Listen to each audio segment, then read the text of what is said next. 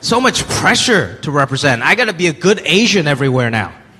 I gotta tip everywhere I go. That was one of the major advantages of being Asian, is I can just pretend I don't know how to tip.